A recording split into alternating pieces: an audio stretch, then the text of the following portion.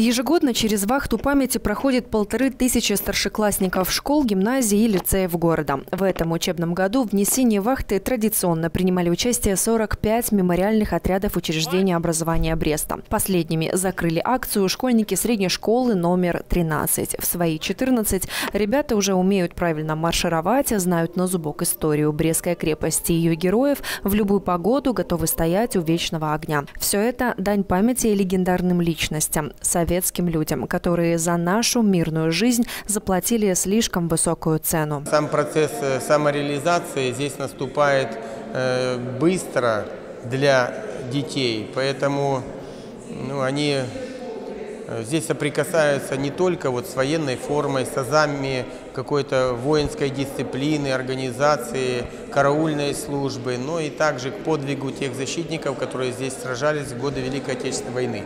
Вообще несение вахты памяти – это как стержень. А кроме этого, проводится целый комплекс э, воспитательных мероприятий. В далеком 72-м старшеклассники Брещины впервые заступили на пост памяти. С тех пор учащиеся учреждения образования города сохраняют и приумножают военно-патриотические традиции, считая это своим долгом. Вахту памяти продолжают внуки и правнуки тех, кто в ряду первых заступил на пост номер один. Каждый из нашей семьи, кто может и хочет нести вахту памяти, он ее несет. В моей семье несла вахту памяти моя э, крестная, мамина родная сестра. Она тоже была комиссаром. И вот я решила тоже попробовать себя в этой должности. Ну, в общем, мне все понравилось, все хорошо получается. Мы должны помнить о тех людях, которые стояли наспорь за нашу Родину.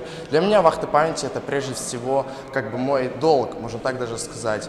Э, моя семья стояла на посту, и как бы я должен продолжать эту традицию, и тоже вот стою на посту. Сначала я был обычным часовым, и потом уже вот дорос до начальника. В торжественной обстановке ученикам средней школы номер 13 города Бреста, которые успешно справились с поставленными задачами, вручили почетные грамоты за образцовое несение вахты памяти, личное старание и примерную дисциплину.